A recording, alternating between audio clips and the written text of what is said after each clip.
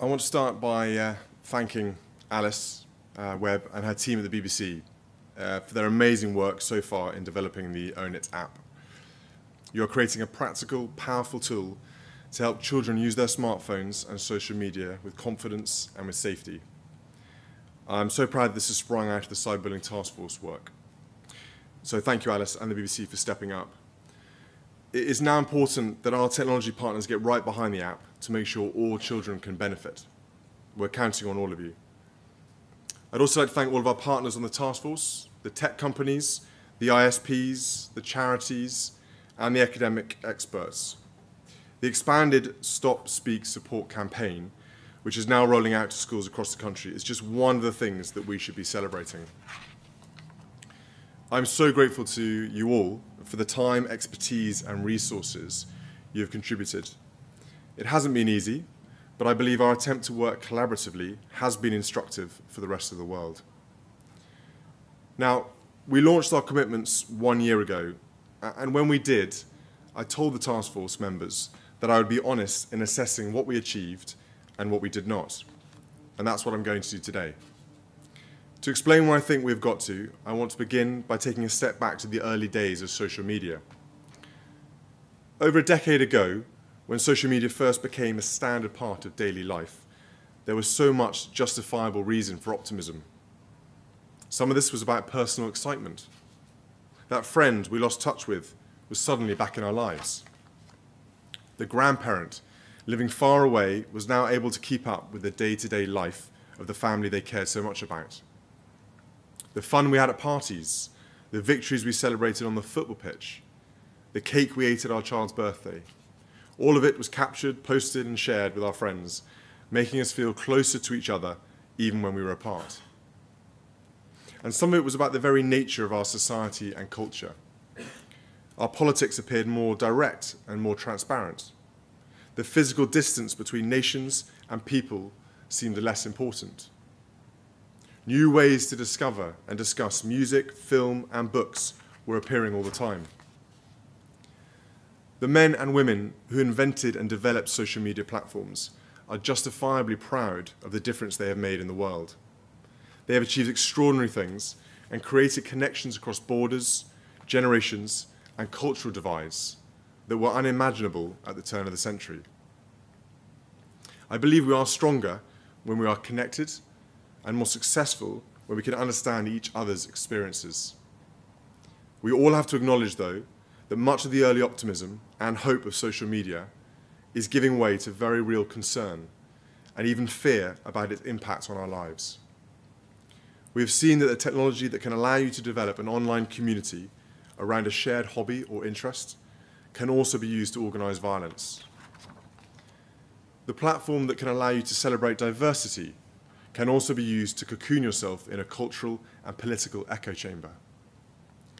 The new ways we have to access news from across the world are also allowing misinformation and conspiracy to pollute the public sphere. The tools that we use to congratulate each other on milestones and successes can also be used to normalize speech that is filled with bile and hate. The websites we use to stay connected can, for some, create profound feelings of loneliness and inadequacy. And the apps we use to make new friends can also allow bullies to follow their targets even after they have left the classroom or the playing field. It is this issue of cyberbullying that we have come here to discuss today. As we do, however, I believe it is crucial that we see the connections across all of these challenges.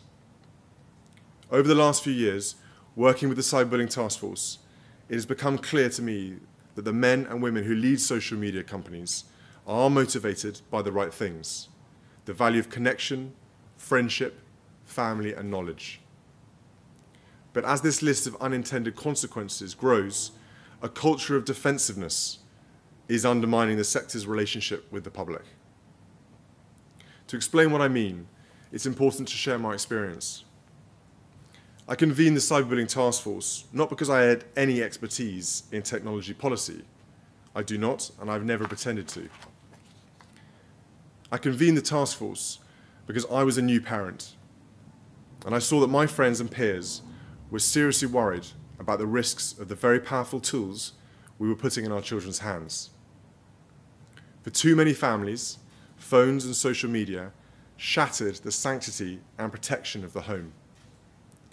As we grappled with this, we felt a distinct absence of guidance. Should we read our children's messages? Should we allow them to have phones and tablets in their rooms? Who do we report bullying to? We were making up the rules as we went along. And when I worked as an air ambulance pilot or travelled around the country campaigning on mental health, I met families who had suffered the ultimate loss. For too many, social media and messaging was supercharging the age old problem of bullying, leaving some children to take their own lives when they felt it was unescapable. I felt that I might be able to make a difference on this issue. I did not have the answers, but I did have the ability to invite the brightest leaders and researchers in social media to sit around the table, to listen to parents and children, and see what we might do together to make the online world safer and happier for our young people. What I found very quickly, though, was that the sector did not want to own this issue. I had doubts being cast about the scale of the problem. I was told that companies were already doing plenty and just needed more credit for it. I saw denials about the age of the young children who were using some of our most popular platforms. And crucially, I heard over and over again that a collective approach across the industry with charity partners, ISPs, researchers, and parents just wouldn't work. The individual platforms were just too different and user expectations too complicated to try to come up with common tools that could be easily understood by children parents, and teachers. So a year ago, when it came time to launch a series of commitments that the sector would make on this issue, I announced a plan of action that I freely admitted did not go as far as I hoped. Now, it did include some very positive things a joint awareness campaign, new guidelines for reporting bullying, and a pilot for a shared emotional support platform. A year on, though, even those modest commitments have not been implemented with the enthusiasm I would have hoped for. And while I'm grateful that today we are announcing that the emotional support platform and the Stop Speak support campaign will get fresh energy, I am disappointed that we are ending our task force collaboration without a real collective sense of pride about what we have achieved. Now, I will admit I have learned plenty through this process about how I can best lead similar endeavours in the future. I underestimated the scale of the challenge that this process would represent.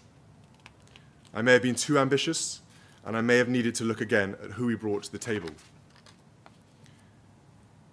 I am worried, though, that our technology companies still have a great deal to learn about the responsibilities that come with their significant power. I say this not in anger. Again, I believe that our tech leaders are people of integrity who are bringing many benefits to our lives and societies. I'm very concerned, though, that on every challenge they face fake news, extremism, polarization, hate speech, trolling, mental health, privacy, and bullying our tech leaders seem to be on the back foot. Their self image is so grounded in their positive power for good that they seem unable to engage in constructive discussion about the social problems that they are creating. The journey from inventors in the student dormitory to the leaders of some of the most valuable companies on earth has been so fast that they may struggle to understand that their incentives have changed. The noise of shareholders, bottom lines, and profits is distracting them from the values that made them so successful in the first place. They are so proud of what they have built that they cannot hear the growing concern from their users. And increasingly, they seem resigned to a posture with governments and regulators that will be defined by conflict and discord. It does not have to be this way.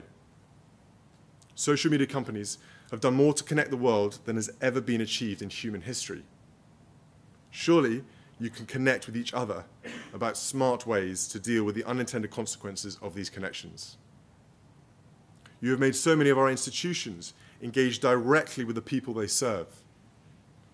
Surely you can build a new relationship with your own users that is based on service, community, humility, and transparency. You have powered amazing movements of social change. Surely together you can harness innovation to allow us to fight back against the intolerance and cruelty that has been brought to the surface by your platforms. And you have brought families together in ways that were previously unimaginable. Surely you can partner with parents to make the online world a safe place of discovery, friendship, and education for their children. You can reject the false choice of profits over values. You can choose to do good and be successful. You can work in the interests of the children and parents who use your products and still make your shareholders happy. We not only want you to succeed, we need you to. Thank you.